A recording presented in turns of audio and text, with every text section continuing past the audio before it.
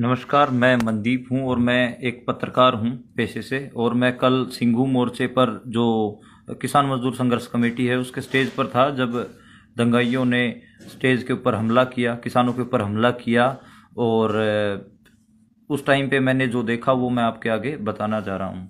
असल में पचास साठ लोगों का एक ग्रुप आता है जो तिरंगा लेकर आता है हाँ और वो किसानों के ऊपर किसानों को पहले गालियाँ देने लग जाता है और कहता है कि उठकर यहाँ से भागो, तुम्हें सब, सबक सिखाते हैं और वो फिर पथराव करने लग जाता है। पथराव कर, और पुलिस, वो पचास आठ ही थे हाँ लेकिन पुलिस चार से पाँच हज़ार पुलिस वाले कल थे। दो हज़ार तो उनको बैकअप दे रहा था पूरा और चार पाँच हज़ार पूरे एरिया में डिप्लॉय कर रखी थी पुलिस, दिल्ली पुलिस थी।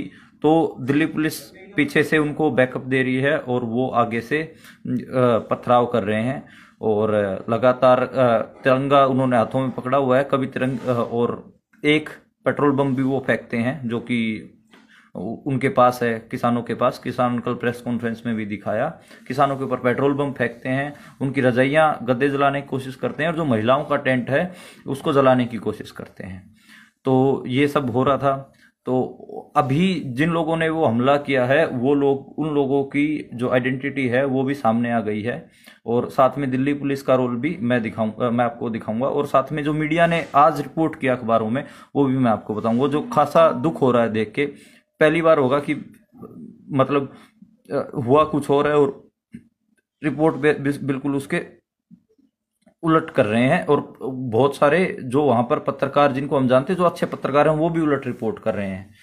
तो अभी बेसिकली जो ये हमला किया था, उसमें जो फोटोएँ आ रही हैं और जो मैंने रात भर देखा कि कौन लोग थे उन, लोगों जो पहले आए हाथों में तिरंगे लेकर और किसानों को गालियाँ दे रहे थे और उनके ऊपर पथराव किया उसकी मैं कुछ फ़ोटोज़ आपको दिखा देता हूँ और फिर मैं आपको बता देता हूँ। ये एक हैं प्रदीप खत्री ठोलेदार अपने आप को लिखते हैं फेसबुक पे। ये और अपने आप को भाजपा का जिला कन्वीनर बताते हैं अपने आप को। ये मनोज तिवारी के साथ दिख रहे हैं। ये जो इस जिनके ऊपर एरो लगा हुआ है। ऐसे ही इनकी फेसबुक प्रोफ़ाइल है प्रदीप खत्री ठोलेदार, जिला प्रभारी इन्होंने खुद लिखा हुआ है। ये प्रोफ़ाइल भी मैं आपको चेक करवाऊँगा पूरी फेसबुक की इनकी। ये देखिए, ये कल दंगाइयों में थे। ये आप शकल मैच कर लीजिए। ये ये जो इंसान है, ये कल दंगे में खड़ा है और ये ये ये देखिए, ये ये, यही इंसान है। अब इसकी प्रोफ़ाइल मैं आपको दिखाना चाहूँगा इस आदमी की। इसकी जो फेसबुक प्रोफ़ाइल मैंने खोल रखी है। फेसबुक पे आप देखेंगे तो एक अंकित शर्मा नाम के इंसान ने कल गए हुए की इसकी वीडियो भी पोस्ट कर रखी है, जो जी न्यूज़ को ये इंटरव्यू दे रहा है, देखिए। तो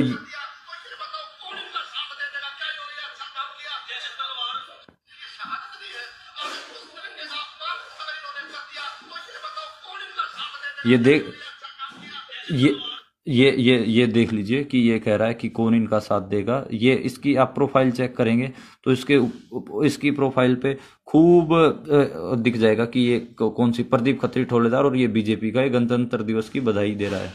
तो ये जो बीजेपी के जो और नेता हैं संदीप सहरावत उनके साथ हैं ये।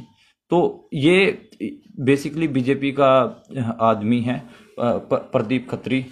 थोड़ेदार ये कल वहाँ पर किसानों के ऊपर पथराव कर रहा था।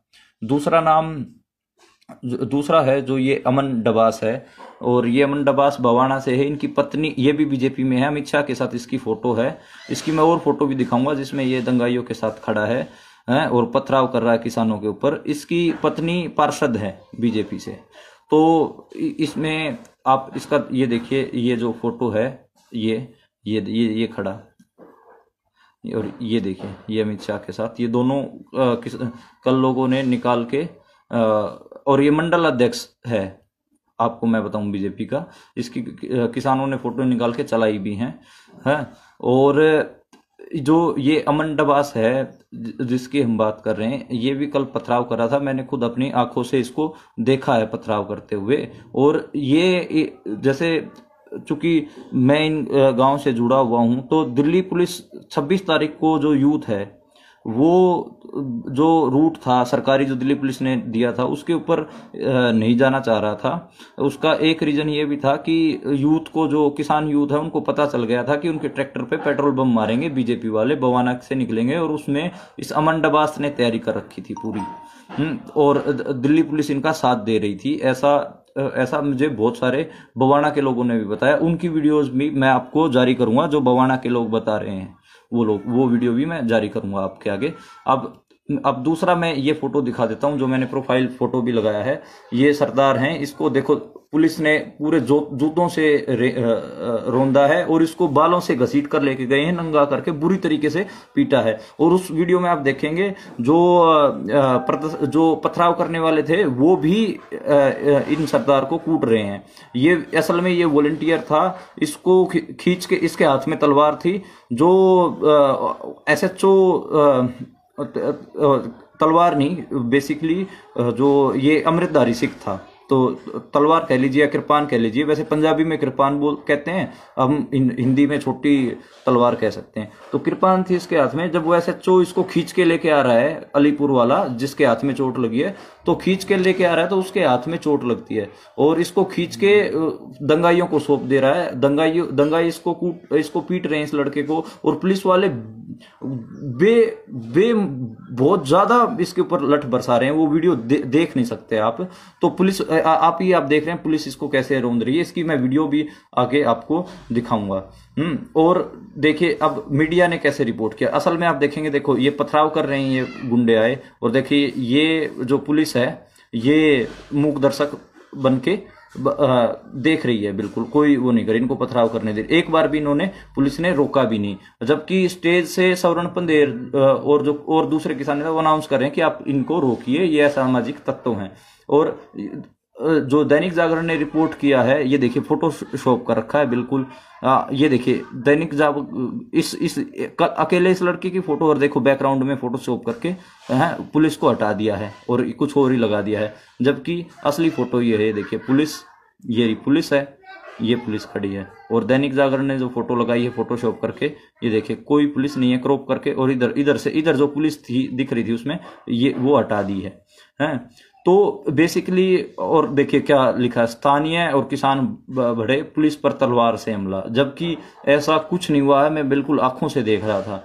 चलो ठीक है भाई, दैनिक जागरण की अपनी पॉलिसी है रिपोर्ट करने की चीज़ों की, पर ये हुआ। अब मैं उस सिख सरदार की वीडियो दिखाता हूँ, जिसको पुलिस वालों ने बुरी तरीके से, ये खबर इंडिया चैनल है, ये है तो संगी चैनल लेकिन मैं आपको एक बार इस इस इस पे जो वीडियो है वो मैं आपको दिखा देता हूँ कि कैसे उसको उनको रोंद के लेके गए हैं हैं? ये ये देखिए अब ये इस सरदार जो थे उनको लेके आएँगे। देखिए बालों से खींच कर लेके आ रहे हैं और गालियाँ दे, ये देखिए बालों से पकड़ा हुआ है देखिए ये बालों से और ये देखिए नंगा कर रखा है इनको और इसको जिप्सी में ठूसने की कोशिश कर रही है और उसको अब स्थानीय आएँगे देखना जो इसके ऊपर देखिए और जो ये खबर इंडिया चैनल है इसकी कमेंट्री तो मतलब हद है। ये कह रहा है देखिए खालिस्तानियों ने हमला कर दिया ये कर दिया।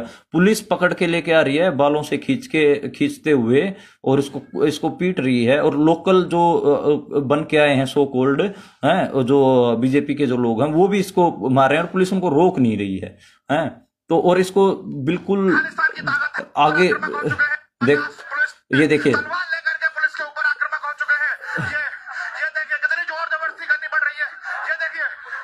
आप देख सकते हैं कि यहाँ पर एक इंसान के लिए पचास पुलिस वाले रोकने में लगे हुए हैं परंतु रुकने का नाम नहीं ले रहा है। हाथों में तलवार थी और पुलिस के ऊपर आक्रमक हो जाता है। और ये ये, देखिए लोकल आपको दिख जाएँगे देखिए ये लोकल ये देखिए ये लोकल इसको इसको मार रहे हैं पूरा। ये बालों से पकड़ रखा है। बालों इसको खुद ही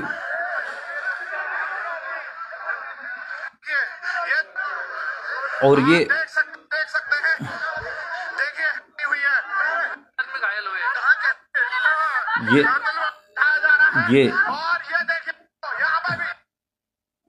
इस इस लड़के को बुरी तरीके से घसीटती है और जो यही लोग यहाँ पर आकर के आक्रमक हो गए हैं और पुलिस पुलिस इस बीच आँसू गैस के गोले छोड़ती है और लाठीचार्ज करती है भयंकर किसानों के ऊपर।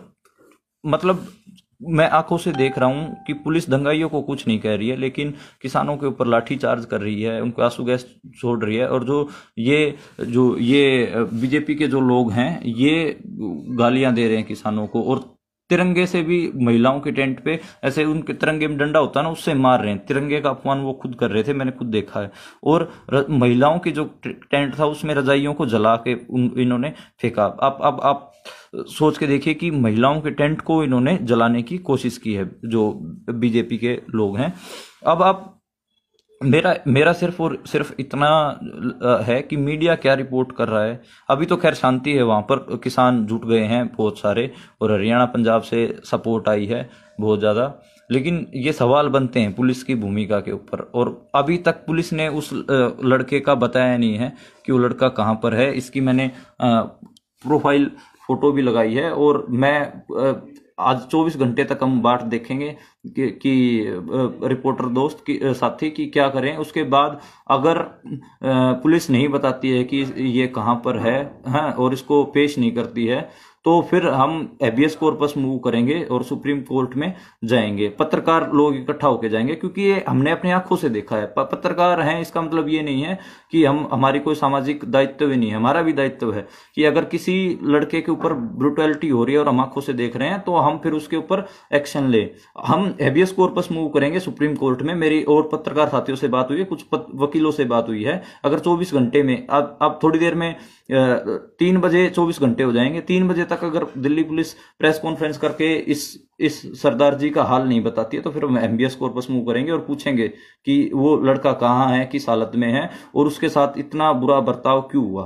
तो ये सारे, ये सारी चीज़ें ज़रूरी हैं। सिविल सोसाइटी के जो लोग हैं, उनसे भी हम बात कर रहे हैं। तो बेसिकली आप, आपको ये समझना है कि मतलब लो, ये दिखाई ये रही है बीजेपी कि स्थानीय लोग हमला कर रहे हैं, जबकि ऐसा नहीं है। बीजेपी के खुद लोग हमला कर रहे हैं। और अगर उस दिन दिल्ली पुलिस के बताए हुए रूट पे ये चले जाते बवाना की तरफ़ तो किसानों के ट्रैक्टरों पे पेट्रोल बम मारने की पूरी तैयारी थी। खुद बवाना के लोगों ने मेरे को रिपोर्टें दी हैं और उनकी वीडियोस भी मेरे पास है बवाना के लोगों की, जिन्होंने मेरे को बताया है कि ये 26 जनवरी को ट्रैक्टरों पे पेट्रोल बम मारते और वो असल में बवाना के लोगों ने, जो किस, आंदोलित किसान है, उनको भी बताया कि भाई, दिल्ली पुलिस के बताए हुए रूट पे मत आना, वहाँ पर पेट्रोल बम लेके छतों पे बीजेपी के लोग खड़े हैं। तो आप समझ आप, इसीलिए रिंग रोड की किसान बार बार डिमांड कर रहे थे और रिंग रोड पे जाना चाहते थे। तो ये एक एक कंक्रीट सी चीज़ है जो मैं जो मैं लगातार देख रहा हूँ, आपके साथ शेयर कर रहा हूँ। और कल किसान, जिन किसानों के के मतलब सर फूटे हैं, हाथ टूटे हैं, उनके प्रेस कॉन्फ्रेंस जब हुई तो मैंने वहाँ से कवर किया। उन और एक छोटा सा इंटरव्यू करने की भी कोशिश करी है। उनकी कहाँ कहाँ चोट आई है। कईयों के हाथ टूटे हैं, कईयों के कुछ हुआ है।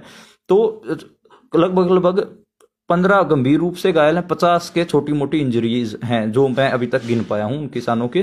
तो और मैं किसी अब जो मेरा लाइव देख रहे हैं, ऐसे कोई ह्यूमन राइट के ऊपर कोई साथी, कोई काम करने वाले हैं ह्यूमन राइट्स पे, या फिर कोई मास्टर्स वगैरह कर रहा है, कोई स्टूडेंट है, वो प्लीज़ जाके इनका डॉक्यूमेंटेशन कर दे कि किन किन किसानों को क्या क्या चोट आई। डॉक्यूमेंटेशन करना, क्योंकि मैं तो रिपोर्ट कर रहा हूँ और साथ में इस हम और दूसरी चीज़ों को भी देख रहे हैं तो वो डॉक्यूमेंटेशन नहीं कर पा रहे हैं। डॉक्यूमेंटेशन कोई वकील साथी या फिर ह्यूमन राइट का ही साथी कर सकता है। तो प्लीज़ आगे आए और सिंगू जो दिल्ली में है जो वकील या फिर ह्यूमन राइट के साथी वो आगे आए और डॉक्यूमेंटेशन करें। बस आपका काम क्या है? किसान जो जिन जिन किसानों को बात चोट लगी है उनकी चोट उनके फ़ोटोज़ और उनका कहाँ क्या कैसे हुआ वो सारा डॉक्यूमेंट कर लें एक बार। ये ज़रूरी है ताकि कल को अगर हम इस ब्रूटलिटी के खिलाफ मूव करते हैं है, और साथ में इस जो साथी जिसको पुलिस लेके गई है बुरी तरीके से जिसको मारा है घसीट घसीट के नंगा कर दिया था इसको हाँ तो इसको, इसकी भी हमको ज़रूरत है।